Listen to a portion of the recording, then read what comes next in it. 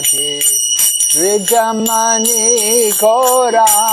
মানে বাজে।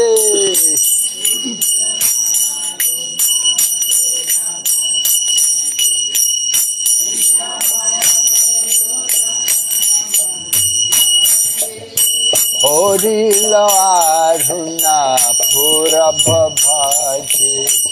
Dvijamani Goramani Jage.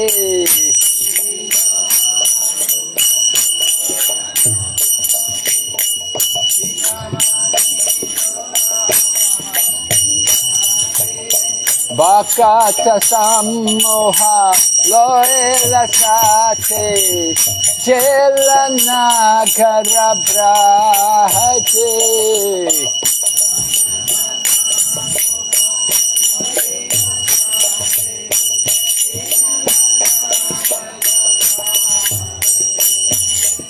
Jelana karabrahaje Bakata sammoha loela sate Jelana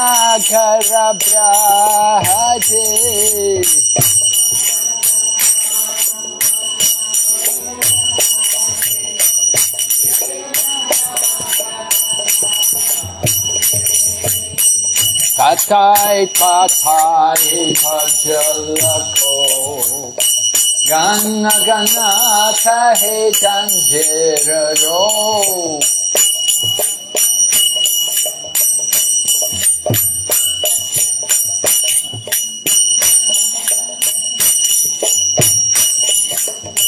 छाछाए छाछाए भजल को। गन गना थे जंजीर रो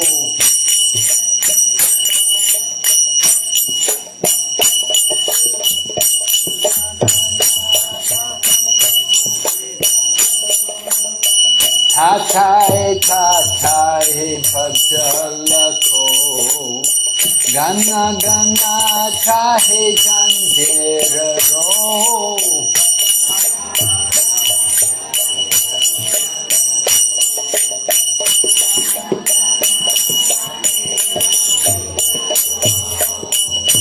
में जल्ला जल्ला सोना रंगा সারানিল পুরবাসে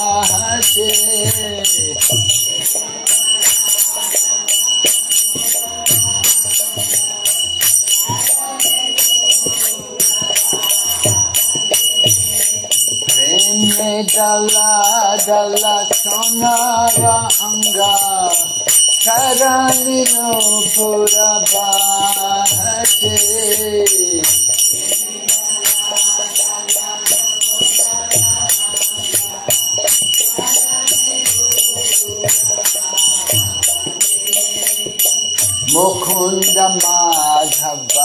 Yadava Hari Bolena Polare Bandana Pori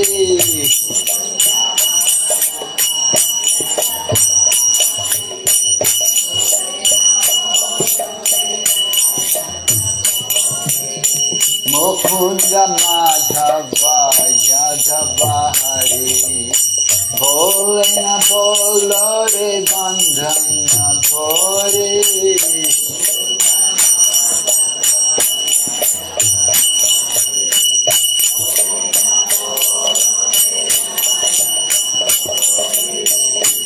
निरा बस खेलोर राति दिवस शरीर साहसे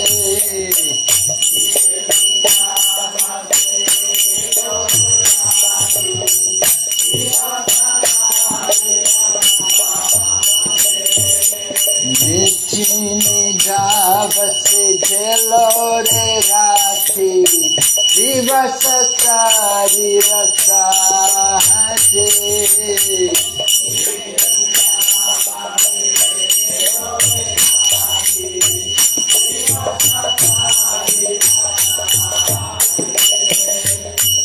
মানা দোলাবা মানা বাজে খায়া কি খর ভাবনা খেয়া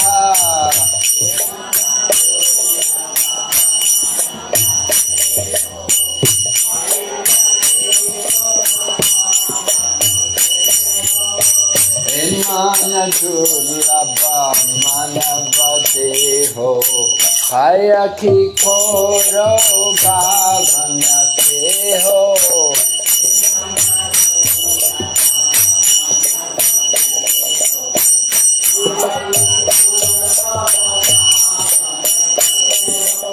Ebe Nabajile Yashoda Tuta কারণ করি আছে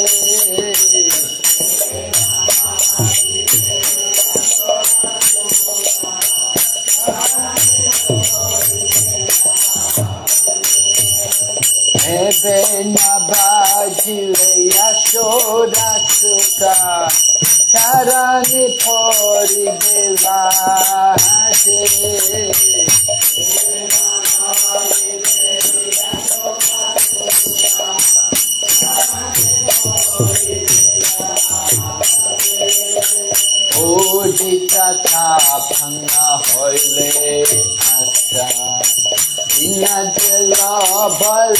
भी आशा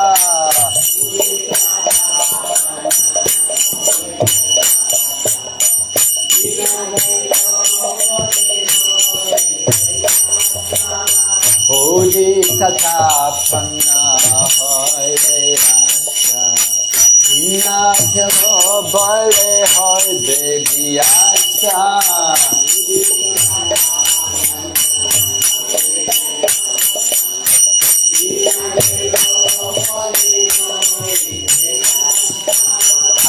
দেখে নয় যে আল্লাহ হয় না বাছরে ধায়া যাছে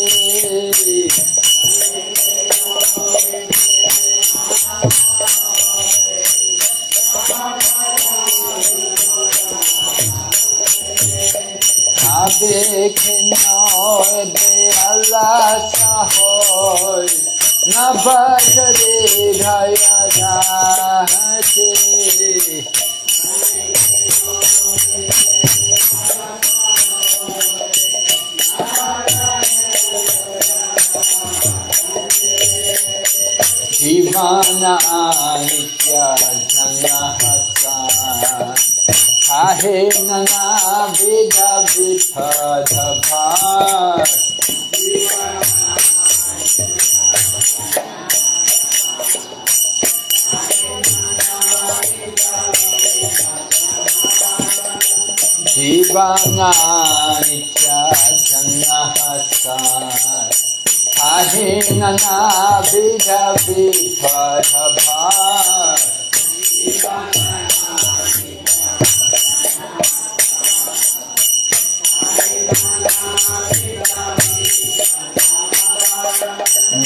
আশ্রয়া করে আখানি তুমি থাকা কাজে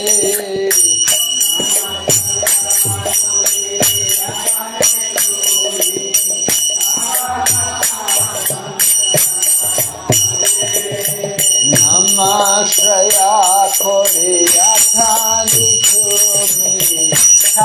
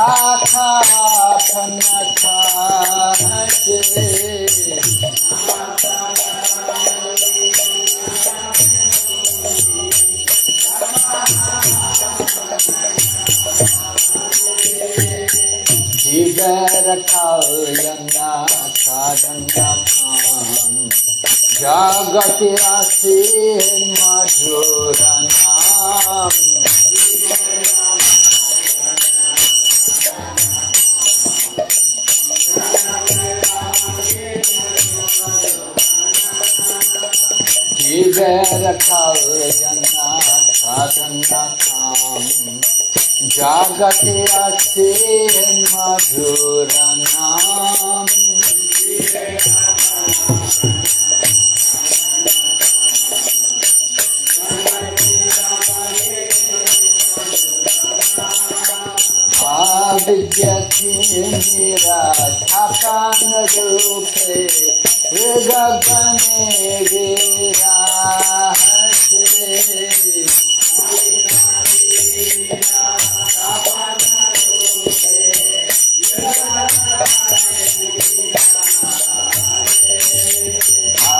विद्या मेरा निधान रूपे गगने दिया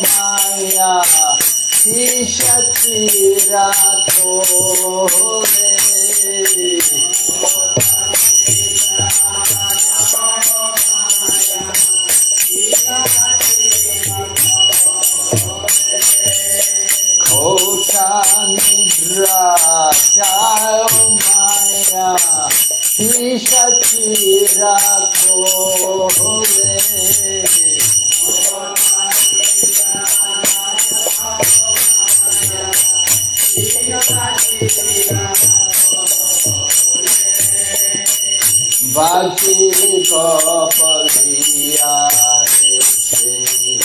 शंकरा बिका हरे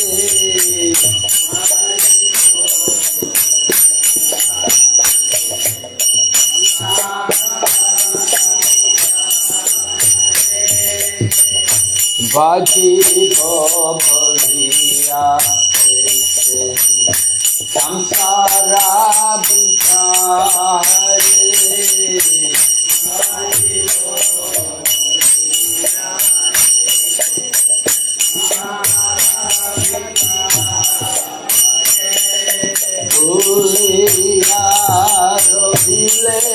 তুমি হাবিদ্যারা ভরে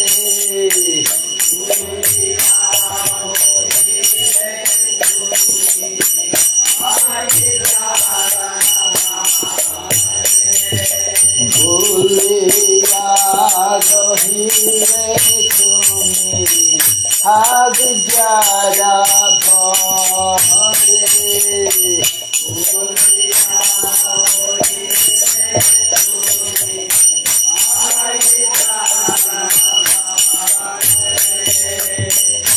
তোমারে লড়েতে আমি হাইনবাতারা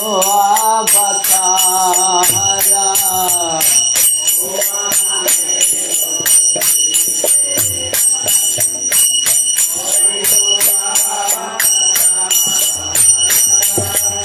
তোমারে লহেছে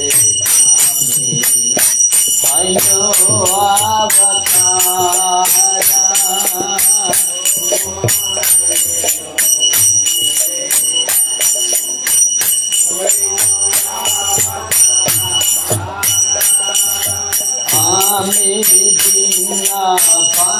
হয়ো আমি আছে ক্ষমা 아,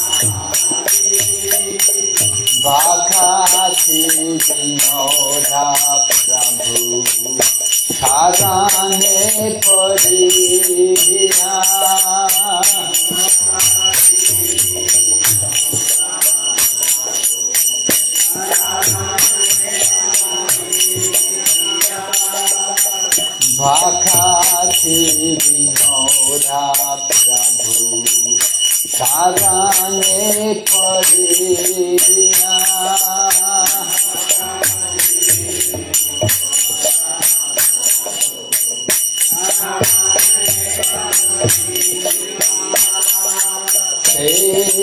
হারি নাম মন্ত্র লড়ল মাদিয়া।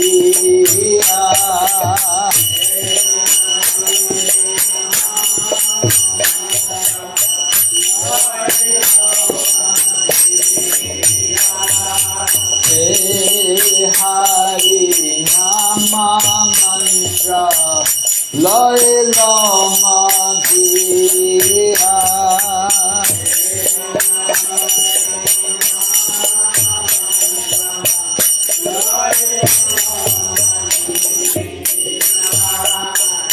জয় রাধা মাধব কুঞ্জ বিহারি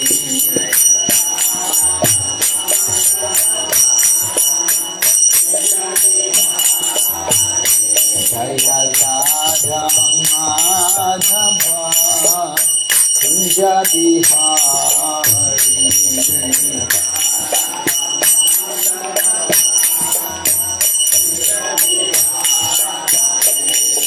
गोपी जान बाला बागिर बरधारी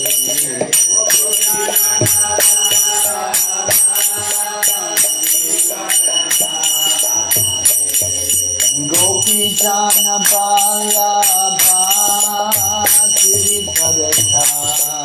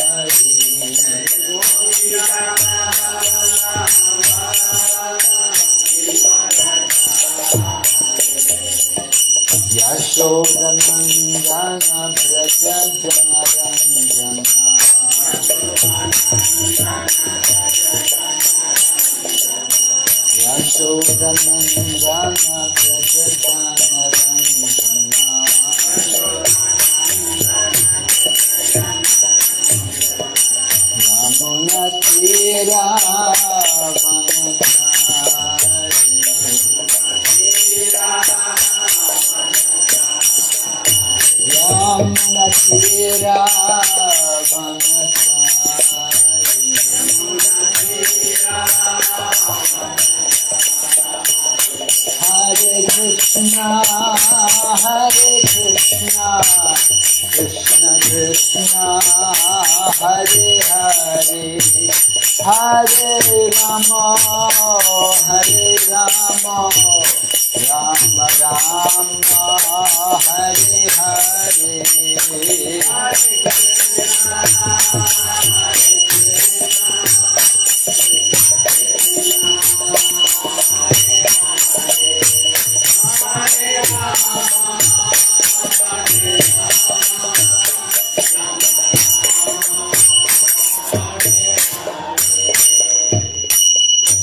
श्रीमनन्दे हरिभो ओम नमो भागवते वासुदेवाया।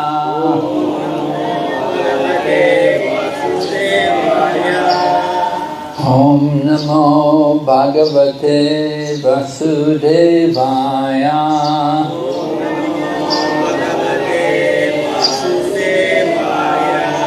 ॐ नमो भगवते वासुदेवाय।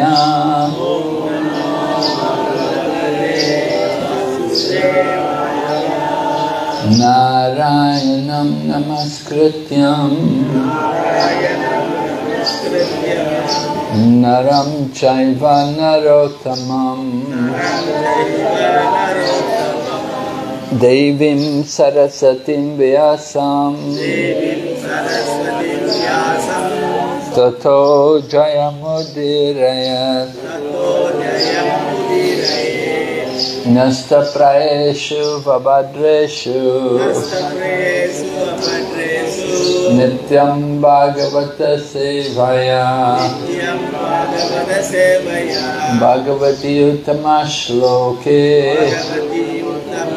Bhagavati Uttama Shloke Bhakti Bhavati Naistiki We're reading Srimad Bhagavatam, Canto 4, chapter number 25, the description of the characteristics of King Puranjan.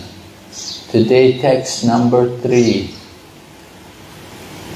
प्रचिन्नबर्हिशंशथा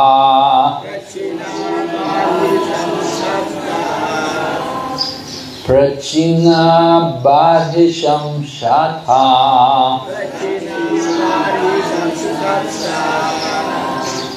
कर्म स्वसक्तमानसम्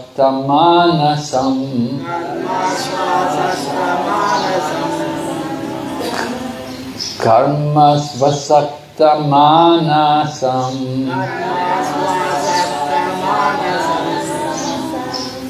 नारदोद्यात्म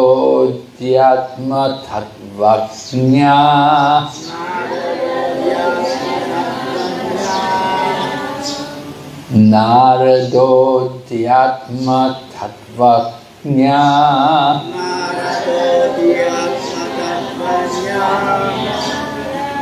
कृपालु प्रत्यबोधाय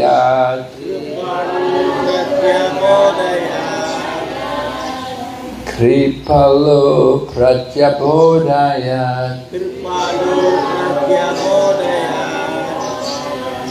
प्रचिन्ना बारिशं शाथा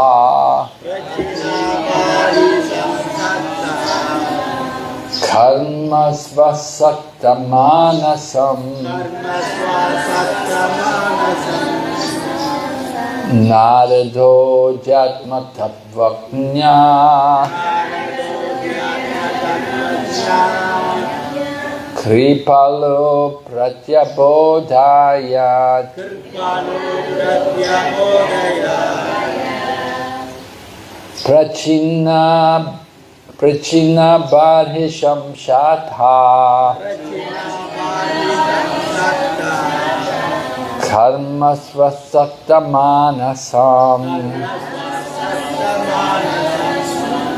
Narado Jatma Tattvajna Kripalo Pratyabodhayat Prachina Prachina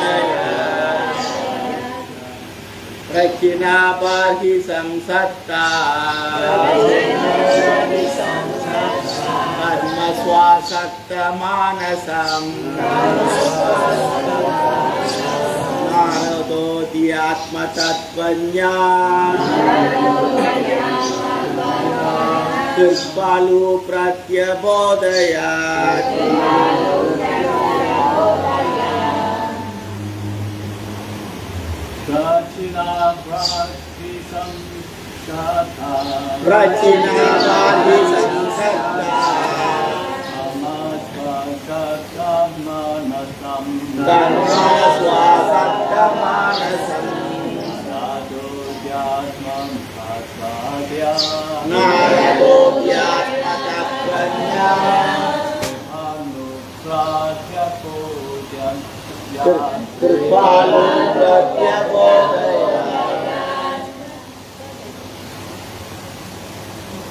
Pratyabodhayat Rachina Padi Samshata Samsatta Karma Svasakta Manasam Karma Swasatta Manasam Narado Dhyatma Tatvaya Narado Dhyatma Tatvanya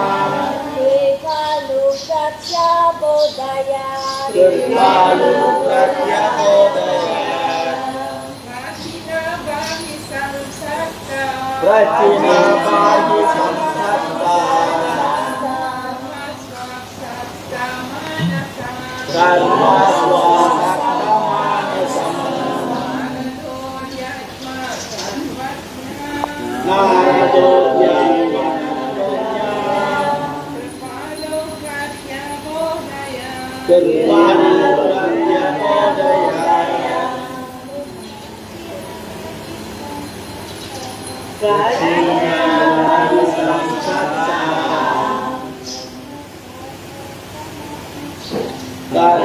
Swasatta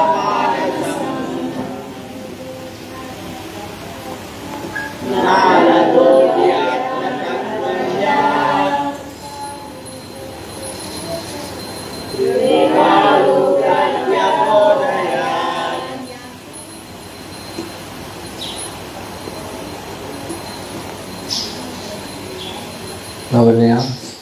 Okay. Prachina Barisham unto King Prachina Barisha. Unto King Prashinabarhisat Shata. Tata O Vidura. O Vidura.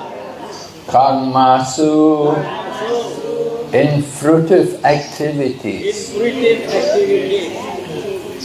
Asakta.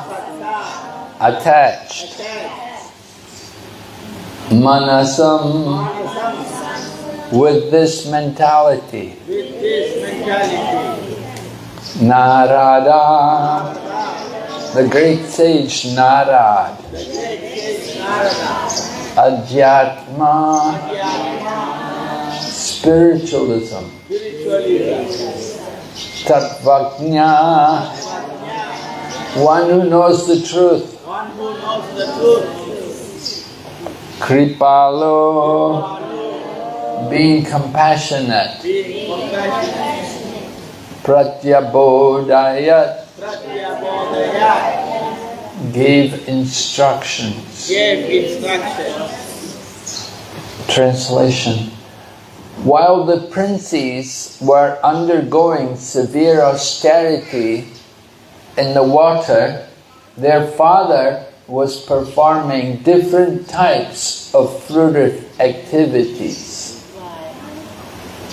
At this time, the great saint Narad, master and teacher of all spiritual life, became very compassionate upon the king and decided to instruct him about spiritual life. Purport by Srila Prabhupada.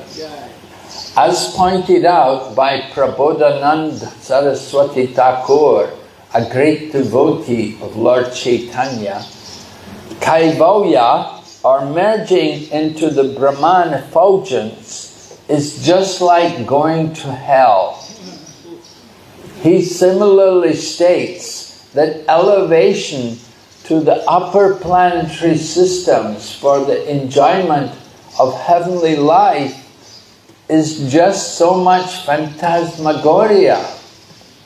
This means that a devotee does not give any importance to the ultimate goal of the karmis and jnanis.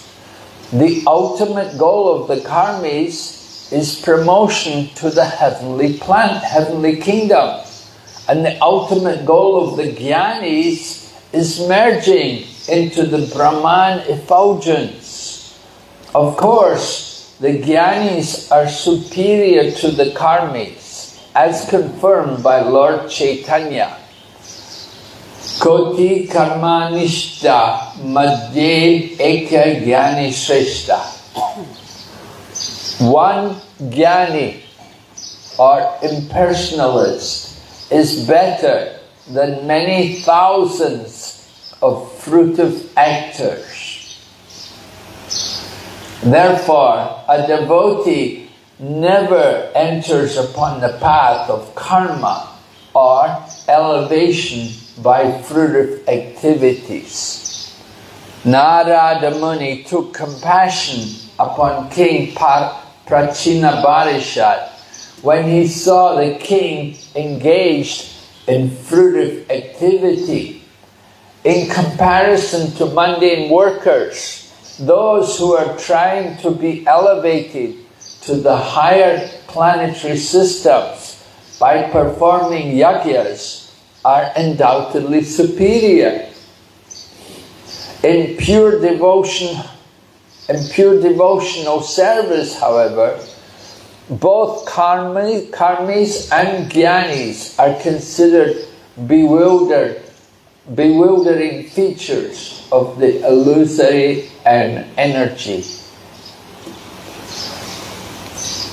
Om Jnanatimarandasya Gyananjana Shalakaya चक्षुरुन्मिलितन्येन तस्मै श्रीगुरवे नमः। वञ्चकौपातरुभ्यश्च कृपासिन्धुभयेव च पतितनां पवानेभ्यो वैष्णवेभ्यो नमो नमः। जय श्रीकृष्णचैतन्य प्रभु निनंद Shri Advaita Gadadhar Shri Vasati Gaur Bhaktavinda Hare Krishna Hare Krishna Krishna Krishna Hare Hare. Hare Rama Hare Rama Rama Rama Hare Hare. So, we're hearing about the situation. Here we heard the princes, the sons of King Prachini Barisha, they had gone to do tapasya by going into the water and submerging themselves in the water and at the same time reciting the mantra or the song given to them by Lord Shiva. So this song which was given to them by Lord Shiva, that would allow them to awaken their devotion. But their father, Maharaj Prachini Barishat, he was performing different kinds of activities he was engaging in some different kinds of fruitive activities. In other words, he wanted to get some material benefit from the activities he was performing. So Srila Prabhupada explains how there are different attitudes in performing these kind of ritualistic activities. One class of people are the karmis. The karmi means the fruitive worker. They want to enjoy the result. Now, now karmis, they may be following the Vedas, but they want to enjoy the result. The Vedas describe a lot of karmic activities how you can get a lot of material enjoyment. And the ultimate enjoyment is to go to the higher planets. Jai Jagannath Baladev Subhadra Radha Krishna The ultimate enjoyment is when you can go to the higher planets, to the heavenly planets. On the heavenly planets, you'll have long life and you'll have a lot of opulence. There's no disease there. There's no COVID to worry about. And you don't have to have vaccines and things. So the life on the higher planets is a, it's of a much higher standard than the standard of life which we have here. And some people think that that is the goal of life. They think we should try to go to the higher planets. But there's a problem. And the problem is that you go to the higher planets, you cannot stay there forever. You can go and visit for some time, but you have to come back. Just like people live in Malaysia and they like to go to Australia or they like to go to America, but then they, after some time they have to come back, right? Unless they become permanent citizens here, unless they get PR green, whatever, green card or something, so they can stay there. But it's like that. You, you use up your piety and then you come back. You go to the higher planets because you do a lot of pious activities. You perform rituals according to the Vedas and you get good results. The, the results may vary. Some people may just want enjoyment in this life. They may just simply want opulence, they may want success or fame, and they're performing different pious activities to get it. Sometimes they give charity, sometimes they do yagyas, and sometimes they perform austerities. So here we, we were hearing the prachetas, they were doing austerity. And why were they doing austerity? They were going to come back and rule the kingdom. So they wanted to be in control of their mind and senses. When they come back to rule the kingdom, they have to be the controller of their mind and senses. And then they can be a good king. And when the king is good, then everybody benefits, everyone prospers. If the king is bad, then the whole kingdom suffers. Everyone suffers. So, some people are karmis. They want to enjoy the material world. They're following the Vedas, they're pious, but they're on the material platform. They will go to the higher planets, come back. Some other people, they're frustrated with the material world. They're not getting any real happiness out of the material world. So they're looking to go beyond the material world, to get out of the material world. They are called jnanis, impersonalists. They want to get out of the material world and their thinking is that out of the material world there will be only the oneness. There will only be the Brahman, the, the light. So their goal is to merge into that light, to enter into that effulgence. That is the goal of the impersonalists or the jnanis, people who practice jnana yoga. Generally they want to merge, they want liberation which is called Sayuja Mukti, entering into the oneness of the Brahman. They think material life means suffering. So long as you have a material body, there will be suffering. So the jnanis, they want to give up their identity. They think to be a, to be a person means you will have to suffer. So they want to give up their personality, to give up their identity. And they want to do it by merging, by entering into that effulgence of the Brahman. So this is also not the correct idea. Although Prabhupada quotes from the Chaitanya Charitamrita, Lord Chaitanya had explained these things, especially to Rupa Goswami. Rupa Goswami was one of the direct disciples of Lord Chaitanya Mahaprabhu. And he met Lord Chaitanya. Well, first of all, they met at Ramakeli, where Rupa and Sanatan were both living. And later on, Rupa Goswami and Sanatana Goswami left Ramakeli and they came to join Lord Chaitanya.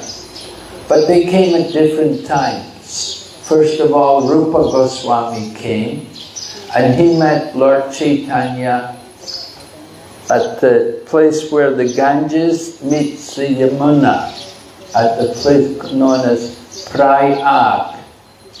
And so Lord Chaitanya met Rupa Goswami there and he instructed him for 10 days. And then he told Rupa Goswami, go to Vrindavan, go and stay in Vrindavan.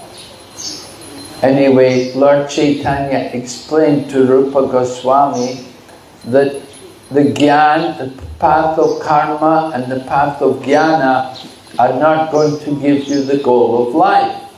They're going to give you only some limited pleasure. The karmi wants to enjoy the material world. So, they go to the higher planets and they enjoy, you know, the atmosphere of the heavenly planets. What is it like there? Well, everyone is very happy, they're all very attractive, and they're all opulent, they have all kinds of opulence, but it's all temporary. They cannot stay there forever, and they will fall back after some time.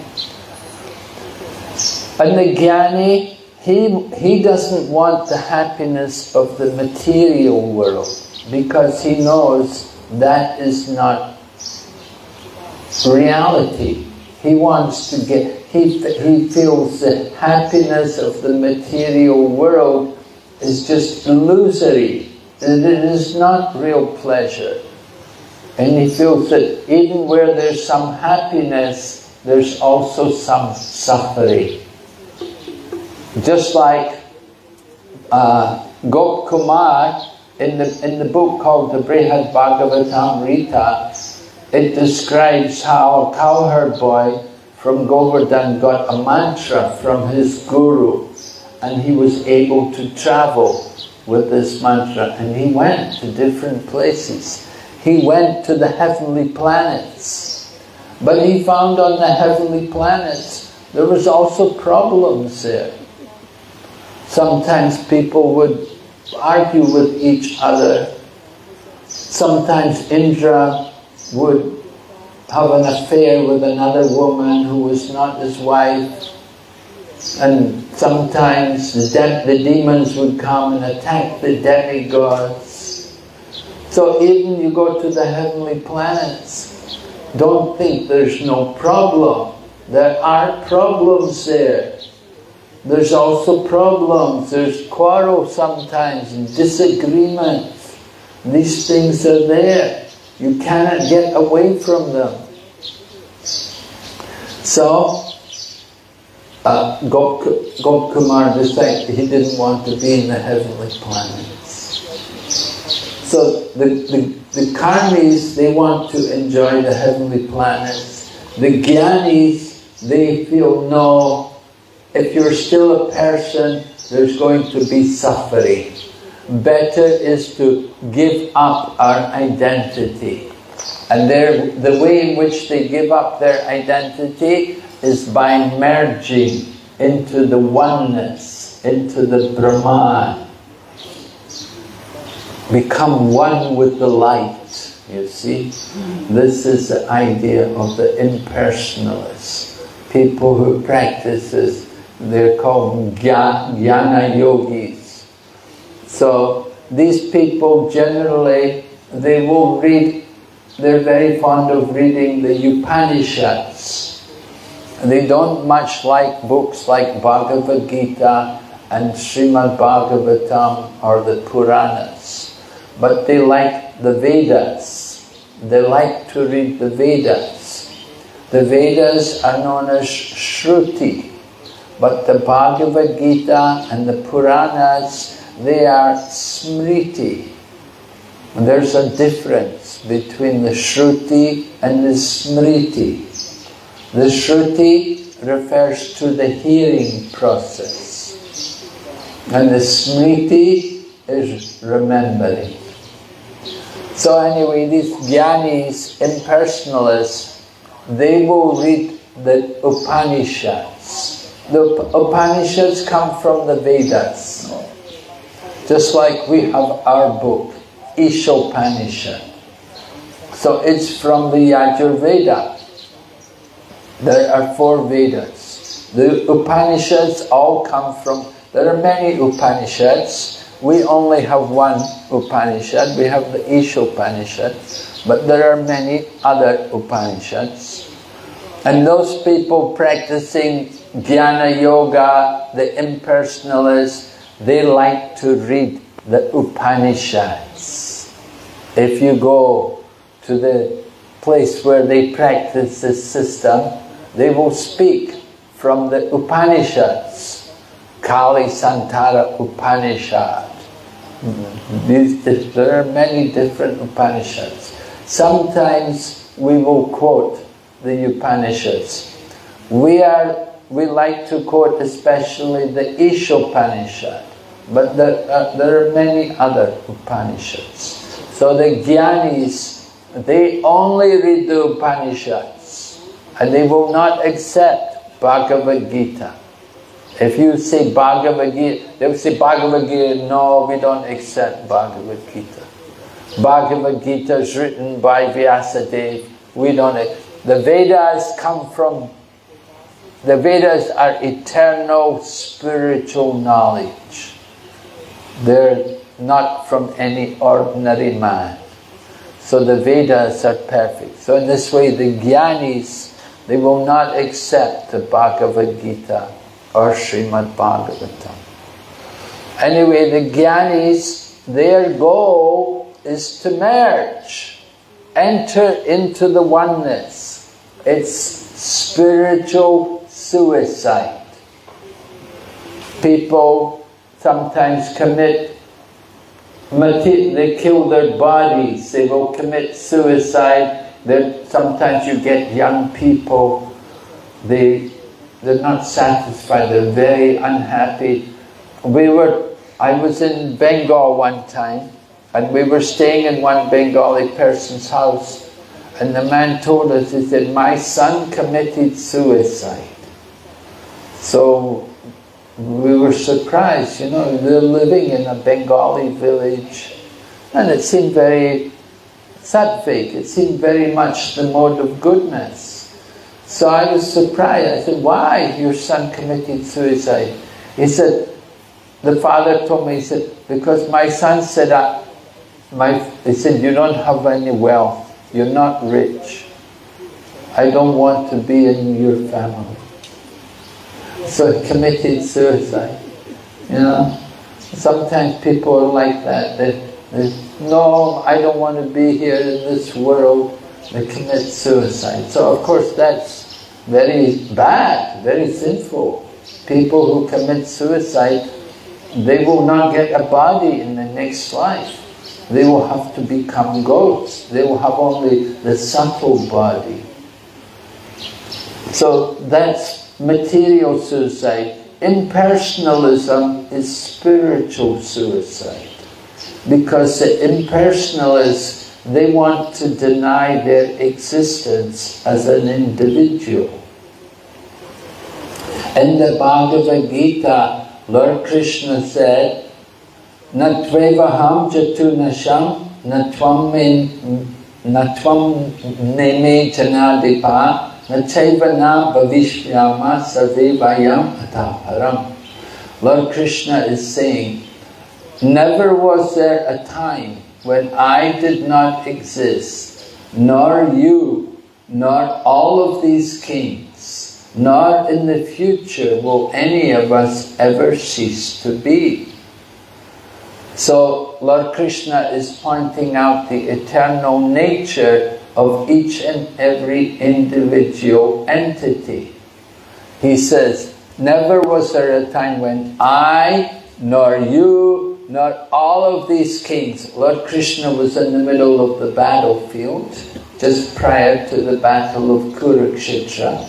So Lord Krishna is pointing out, I, you, and all of the kings, all of us, we're all eternal spiritual beings.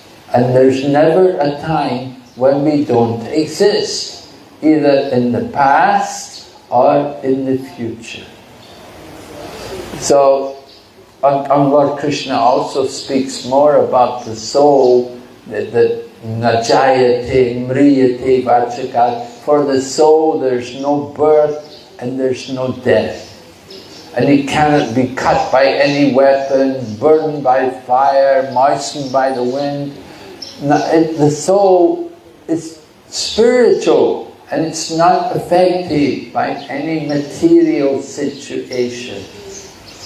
So, knowing all of these things, we do not accept the, the proposition of the Gyanis to merge into the oneness. Because the Gyani's idea is that now I'm an individual. And if I have to keep my individuality, if I have to remain a person, then to be a person means I will suffer. Of course, in the material world, we could say that's true. But you don't have to remain in the material world. You see, you can go beyond the material world. You can get out of the material world and go to the spiritual world.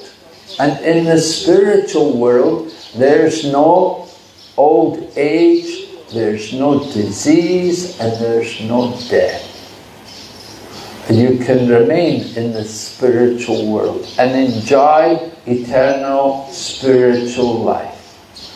So the solution to the problem is not to commit suicide spiritually, but to enter into the spiritual kingdom, to enter into the spiritual planets and to engage in activities with a spiritual body get rid of the material body and have our own spiritual body. The spiritual body does not take birth it does not die. And we all have a spiritual body. But at the moment, our spiritual body is covered by the material body. This material body is covering our spiritual nature. And just like we wear our clothing to cover our physical body, the same way our physical body is covering our spiritual body. And we have to free ourselves from karma, from the effects of the material energy, and then we can develop our spiritual body. So the jnanis, their thinking is to merge, enter into the oneness, become one with, and they give examples, stupid examples. They say, just like the, the water flows into the ocean, the rivers all flow into the sea, and becomes one with the sea. So we should become one with the ocean. So this is not a very good example. We point out that in the ocean, well, or in the rivers, there are also fish. And the fish come and swim into the ocean.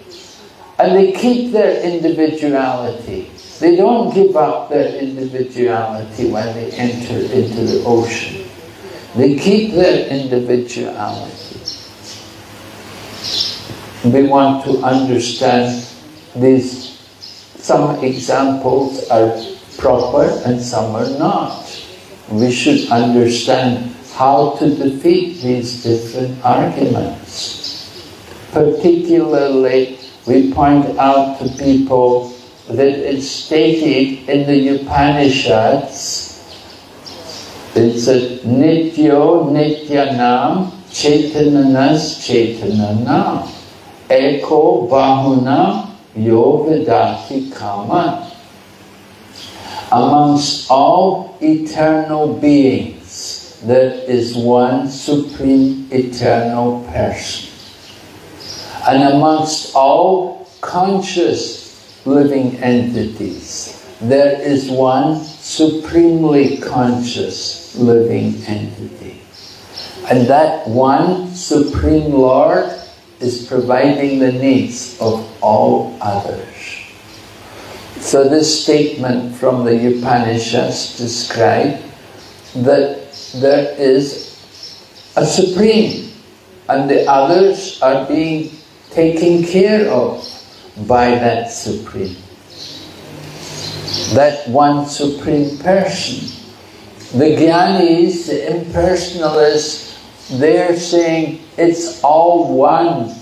They're saying there's no supreme. There's only the Brahman, only the oneness. And they describe that oneness as being light.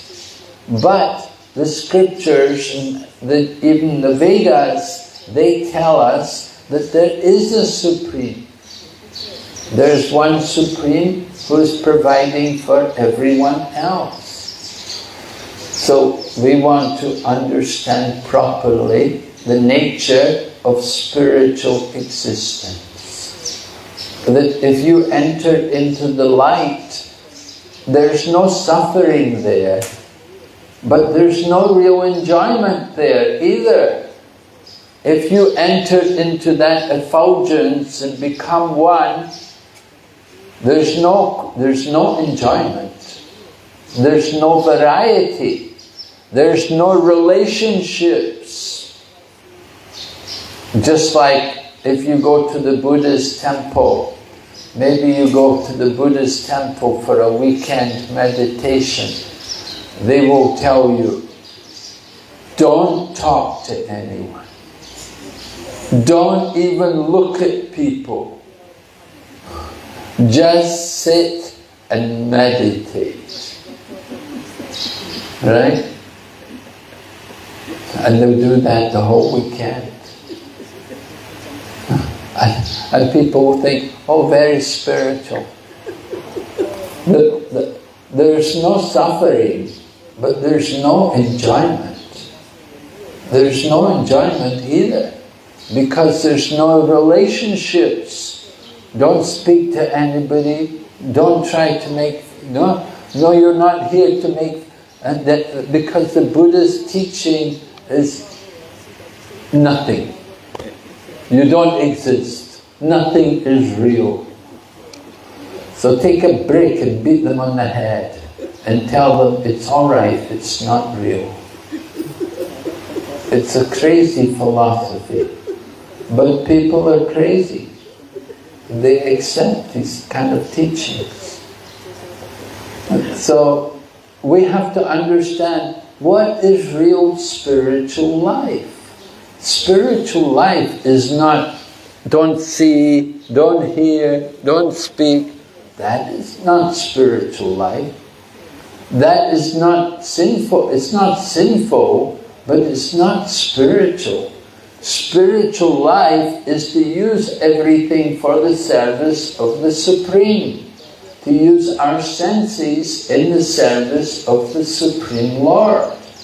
We use our tongue to chant and to speak the glories of Lord Krishna.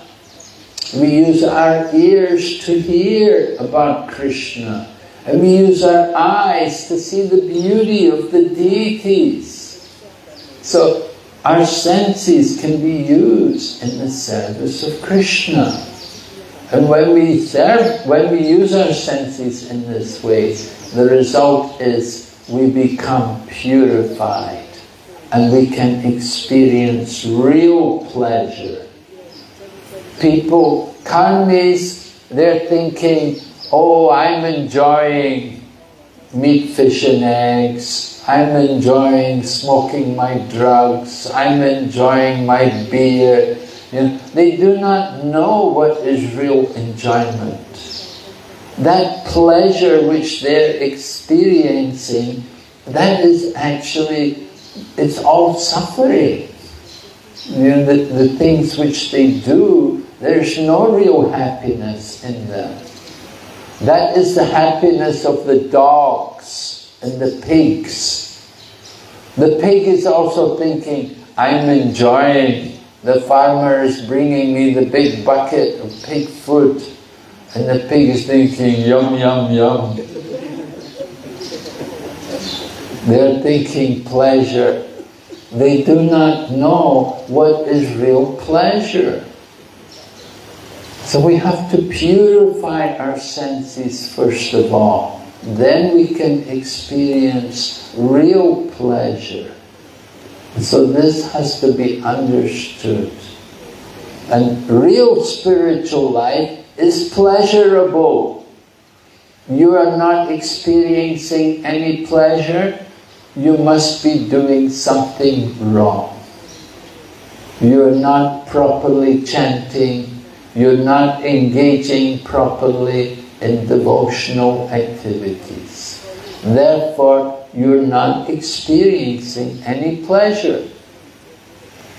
Prabhupada gives an example, just like if you have a jar of honey and the jar is sealed, you can lick the jar but there's no taste. There's no pleasure in just licking the outside of the jar.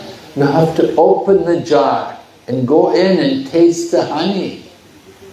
In the same way, in practicing bhakti yoga, we have to engage ourselves in the activities of devotion. We have to faithfully hear and chant and we have to come and see the deities and these different activities. They're all very powerful and they will purify us. We will experience real pleasure. The nature of the soul is eternal, full of bliss and knowledge. But if we're only in the body consciousness, we will not feel that. The nature of the body is miserable. So we want to be careful to guard against spiritual ignorance. Okay, any question? Yes? 对不对？我想问的问题就是，呃，奉献者想在这个物质世界，呃，保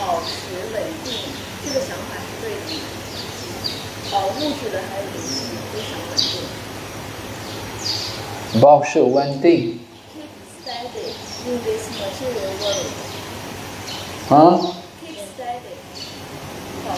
？What is Is that alright to maintain steady in material world and in spiritual world? to maintain what? Maintain the steadiness. In material world? Yeah, in this material world, 保持稳定。保持稳定。 Yeah. Well, she's asking, yeah, is it all right to be steady in material life?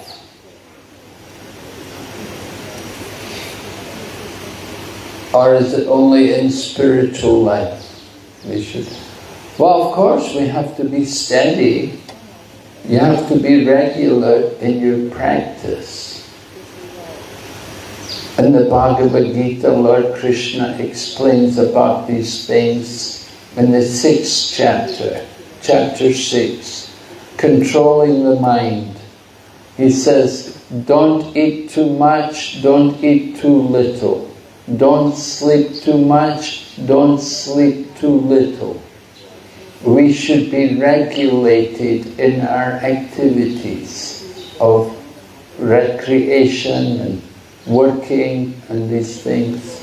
Yes, there should be regulation. The devotee life is regulated. Just like in material life, you know, you go to, if you go to school or you have a job, there's a time you go to work, there's a time you finish the work. And so Similarly, in spiritual life also, we have our spiritual program. Wake up certain time, Mangal Arati, the, the worshipping the deities. We're having the morning program, we have the evening program. So these things are regulated. And Prabhupada liked to see that, that uh, our, he liked that our temples are very regulated. Prabhupada himself was regulated. He liked to wake up in the middle of the night and he would write. And then early in the morning he liked to go out for a walk every morning. And he'd always come back in time for the deity greeting and the devotees would offer Guru Puja to him. Then he would give a class. So it was very regulated.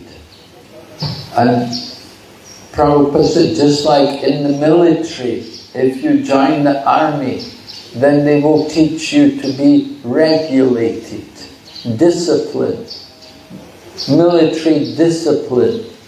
In the same way, spiritual discipline is there. Everywhere there should be some discipline. Without discipline, then we'll be uncivilized.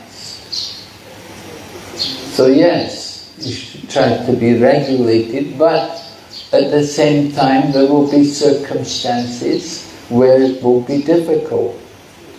Just like in family life, sometimes it will be difficult to be regulated. Sometimes you have, maybe your child gets sick, you have to take care of him. Maybe he's awake in the night, you have to, you cannot get proper rest. Sometimes you have to take care of your husband, different things, social functions to attend. You have to, so some, you have to be able to adjust. You cannot expect that every day you can be regulated, although that's very good. Because then if you are very regulated, then it's easier to control your mind and senses. If you're not regulated, then it becomes very difficult to control the mind and senses. So having a regulation is very helpful for us to control the mind and senses. But you have to be tolerant and understand that sometimes it's not possible. But things like that change, you know? Just like you have a young child, they want so much attention, they grow up. They're not children forever. They do grow up and they go off and they have their own life. And then you're free. Then you can be regulated. So you have to be patient and tolerant. And at the same time, within your mind you should desire to be regular, to keep a regulation. You want to keep that desire in your mind, that I want to be regulated. Regulation certainly helps for our Krishna consciousness. Hmm? Any other question? Yes? 呃，在至尊奥义书里面有个师姐说，灵魂自呃自杀这个灵魂呢，它就会永远堕在黑暗当中。 呃，八百四十万种生物体的这种轮回，现在得到人生之后，如果没有修习推下知觉，又重新再一次轮回，是指从一个单单细胞又再再再再轮回，这八百四十万种轮王，轮王到人体才可以，是吧？啊？最后一个？嗯，就是轮回人体八百四十万种啊，生命体轮回到人体，如果没有用好这个人体，那再次轮回是又是从当细胞的那种开始轮回吗？呃，就是 Do we have to take again the body again? then he is the body again. so if you want to come back to the human being, you just have to go back to the first step again to come back become a human being. Like the ants. Yeah, it's endless. The cycle of birth and death is endless. You go through the 84, 8,400,000 different species of life and you can go up and then down and up and then down. But it's going on continually. It's like a wheel, a wheel, Ferris wheel. The wheel is rotating. So our soul is like that. It's in the wheel, and we're going up. Sometimes we go up to the higher planets, and you're a demigod. And sometimes you go down, and you go down. And sometimes you're a bird, and sometimes you're a worm, and you get eaten by the bird. you go through all the different species of life. So you stay in that wheel of birth and death until you become Krishna conscious.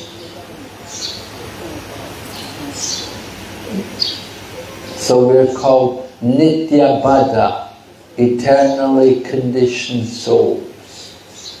Right? There's Nitya Mukta and Nitya Baddha. Nitya Mukta means the eternally liberated soul, and Nitya Baddha means eternally conditioned souls. We are eternally conditioned souls. Means we've been in this material world so long we cannot remember. We've been round the 84 lakh species many times. We don't remember. So we're eternally conditioned. But we can become liberated, we can get free, we can become a jivan mukta, a liberated soul by devotional service.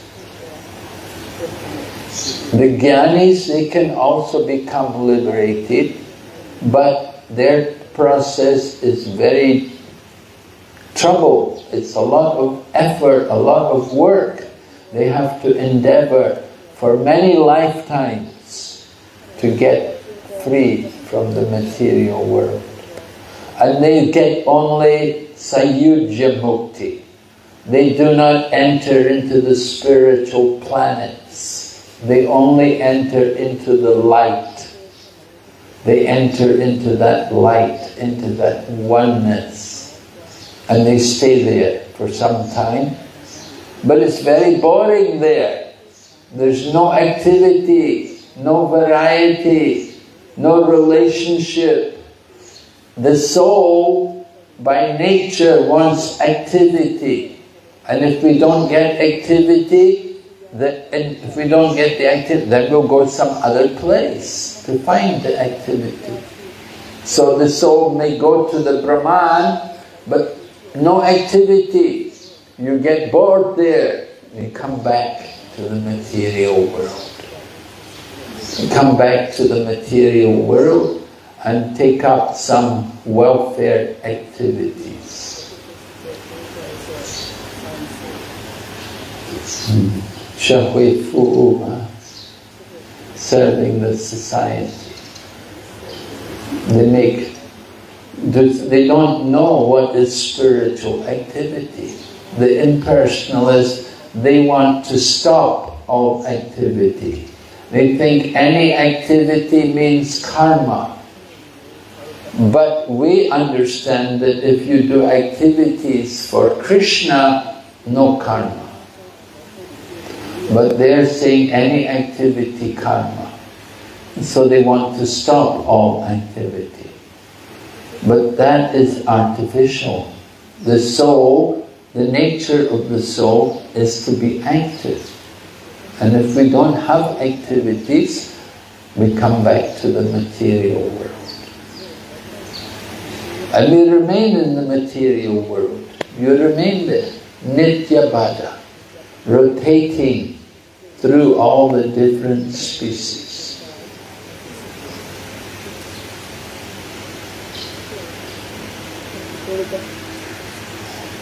Yes?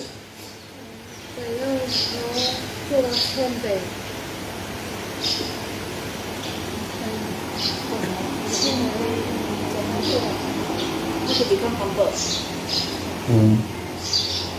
How to become humble? More chanting.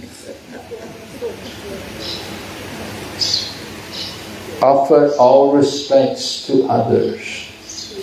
Amanina manadena kirtaniyah sada harih. Offer respect to others and don't expect to get any respect for yourself.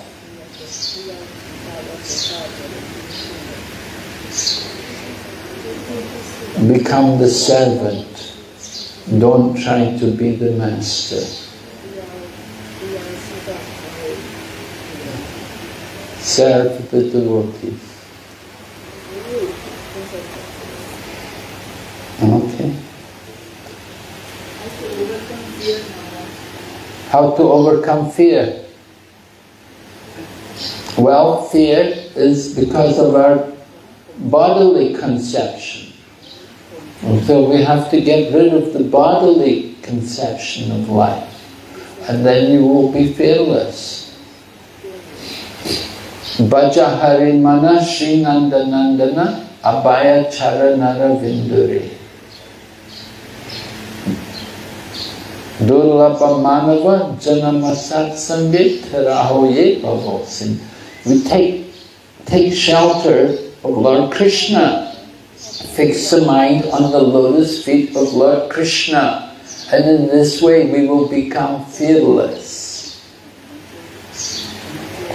So fear is caused because of our identification with the body and our attachment to the things in relation with the body. So we have to change that attachment to attachment to Krishna. We cannot just simply give up attachment, but we can purify attachment by directing the attachment towards Krishna. So the more we're attached to Lord Krishna, the less we will have fear. Uh-huh. So, how to become attached to Krishna? Chanting the holy name, engaging more in Krishna's service, hearing, reading the books and hearing katha will help us to become more attached to Krishna. Okay. Any other questions? Yes? 呃，我一直这几年努力的训练自己，希望改掉自己的习性，但总感觉自己内在的空虚在很大。Yashoda Mai, 那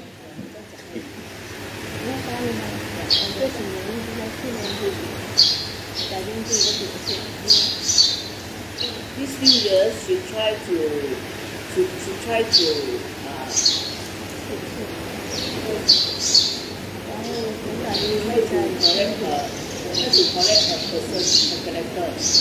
Huh? Try to try to correct herself.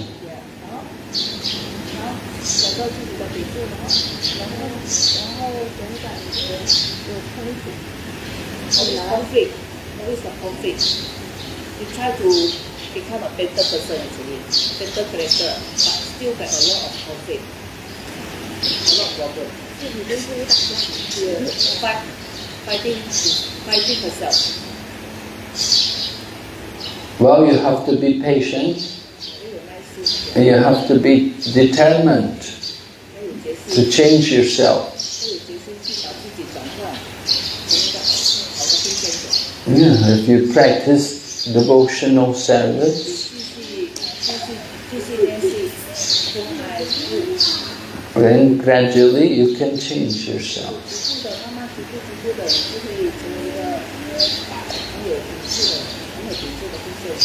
It may take some time.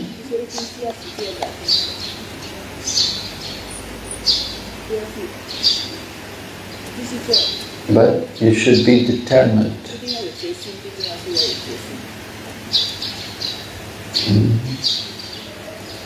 Okay, Hare Krishna, Srimad Bhagavatam ki jai.